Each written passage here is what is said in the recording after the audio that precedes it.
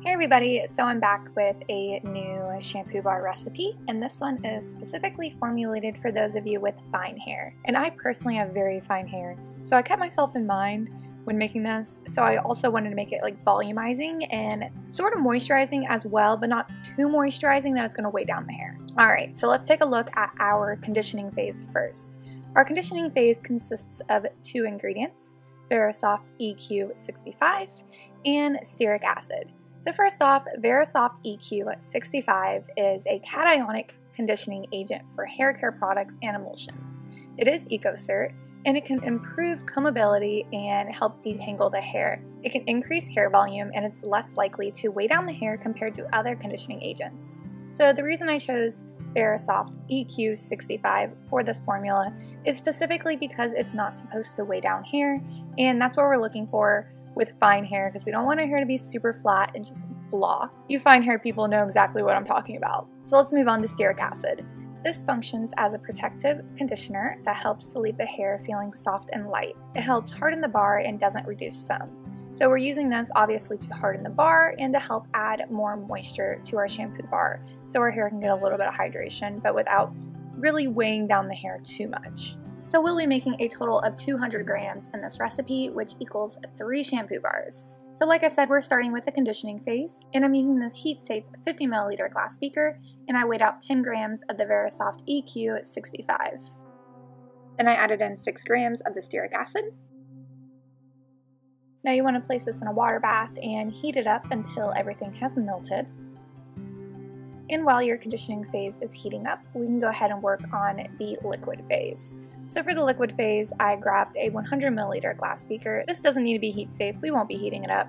And I started with the first ingredient, the volumizing complex. So again, us fine hair people know that we need a little bit of life and luster to our hair. So I'm going to be using this volumizing complex in hopes it adds some like bounce and volume to it because it's supposedly supposed to produce a bouncy curl and increase volume in hair. So this is supposedly good for those of you who have curly hair, so good to note. And I added in 4 grams of the volumizing complex. Next up we got some Vegekeratin. This is a vegetable alternative to animal keratin. It increases hair strength, enhances elasticity, helps protect hair from harsh salon process, makes hair look more healthy and shiny, and improves combability of hair. So those of you with fine hair, our hair is pretty weak, so some extra keratin won't do any harm. So let's add this in to help strengthen our fine hair. Next up, we have some wheat protein. This constitutes a unique hydrating complex offering a combination of moisture balancing and film forming properties that work synergistically to give hair better body and control. It increases shine and highlights. And I bleach the heck out of my hair, so I need as much hydration as possible, so this should help with that without weighing down the hair completely and I used 4 grams of the wheat protein. Next up we have sodium lactate liquid, and this is a natural humectant and moisturizer, so this will help moisturize your hair, but it will also help harden the shampoo bar. And I added in 8 grams of the sodium lactate liquid. So now we're moving on to our preservative, Liquid Germall Plus. And sorry about my bottle, apparently some water or something got on it and made everything smear. I don't really know what happened. Anyways, all you need is about 1 gram of the Liquid Germall Plus to help preserve your product and then I'm going to be adding in some lime essential oil, 2 grams to be exact because I'm obsessed with the scent of lime. You can use whatever essential oil or fragrance oil you would like. And then lastly, I'm going to be adding in some foaming apple. Foaming apple is a very mild anionic surfactant that is actually great for dry hair types because it's not really harsh, so it's not really going to strip your hair. And I added in 20 grams of the foaming apple. So after you have all your liquid ingredients weighed out, go ahead and mix them up just a little bit. And you can go ahead and place that beaker to the side because now we're working on our powder phase. And it's very, very, very, very, very important to make sure you have a respirator for this phase because the powdered surfactants can not to be very safe breathing in. You don't want to breathe them in, it'll make you cough and just things won't go well, guys. Trust me. So make sure you have a respirator for this part. I got mine for like 20 bucks. And the powdered surfactant we're going to be using is SCI. So SCI is a very extra mild anionic surfactant and it's great for really all hair types because it's very mild and gentle. So this is a good go-to powdered surfactant for any hair types. And I'm using this 500 milliliter glass beaker to weigh out 137 grams of the SCI.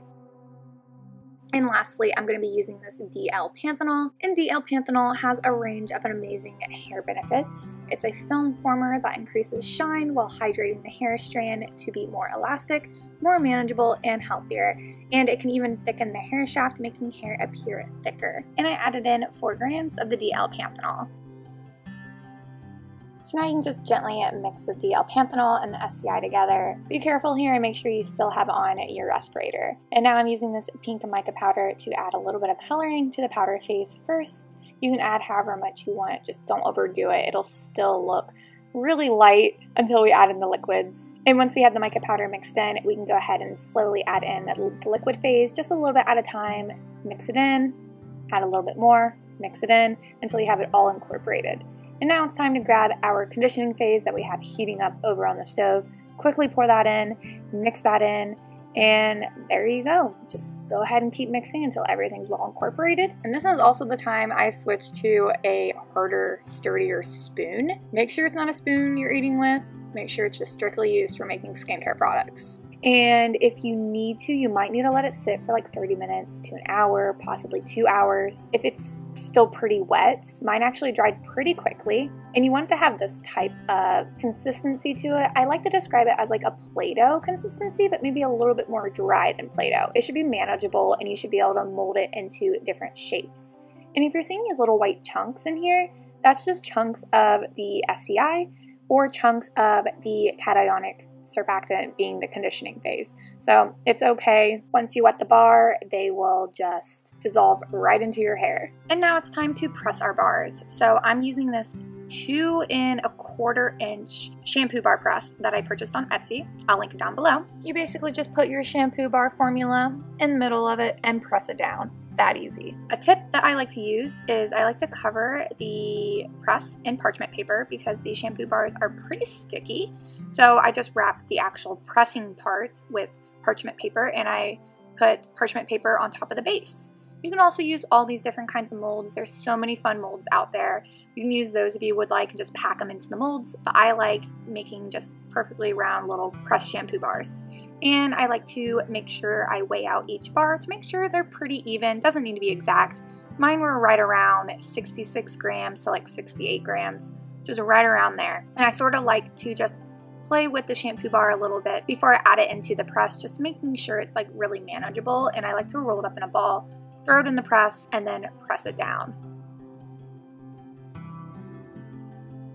And there you go. You're greeted with a beautiful shampoo bar. It is kind of hard to press out the first one, but after that, it's a lot easier to pull them out. And this one didn't really turn out perfect at first, but that's okay. I could repress this if I want, but personally, it's not a big deal to me. It's whatevs. It's just going to be me using this, so it doesn't need to be perfect. But if you really want to fix up these edges, just run it through the press again and it will be even more beautiful. And there you go. There's the first one. I know it's not perfect, but it's perfect for me. And here we go, pressing the second one. This one actually turned out a lot better because it wasn't as hard to like push out of the press. And then here we are with the third one. And of course, third time's the charm. The third one is definitely the prettiest because like I said, the more and more you go through and press them, it's a lot easier to just get the press through. So after we have them all pressed, I like to just lay them on a paper towel. You can use a tray of some sort if you would like, and then you just want to put them in the freezer for about an hour or two.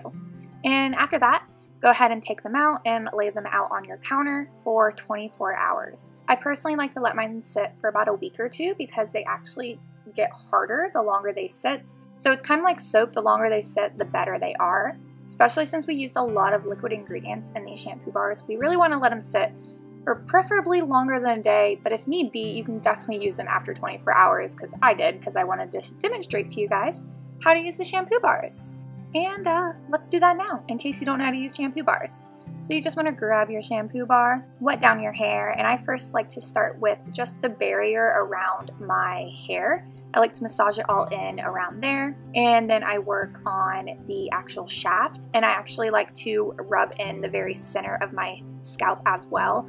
I only wash my hair about once a week. So when I wash my hair, I like to use a good amount of shampoo and really get a good lather in there So I typically use a lot more product than I guess the average person. But it really is amazing how much these shampoo bars lather. So let me know if you have any questions down in the comments below. Also, let me know what hair type you have so I know what shampoo bars to make next. Now it's time for my Patreon shoutouts. So first up, we have Stardust Bath and Body over on Instagram, Nature's Farm Girl at naturesfarmgirl.com, Kennedy's Essentials at kennedysessentials.net, Let's Blend at letsblend.bigcartel.com, Creative with Love at creativewithlove.me, Wallflower Wildflower at wallflowerwildflower.com, Heartfelt Beauty on YouTube if you want some more formulating videos, Sugared underscore pineapple over on Instagram, KAJ Bath and Body over on Etsy, Blue Mint Soaps at bluemintsoaps.com, Saytera here on YouTube, at Salt Air Label over on Instagram,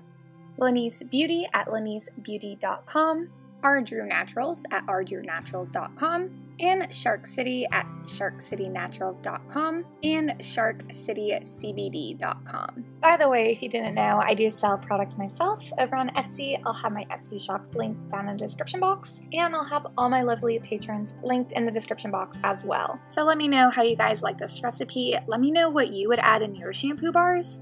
Also, like I said before, let me know your hair type down in the comments so I know what kind of shampoo bars to make next. Hope to talk to you guys in my next video. Later!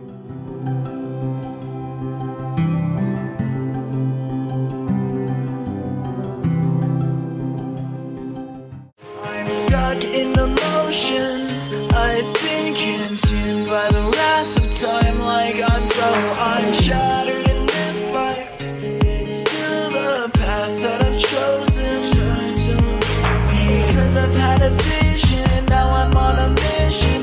I've had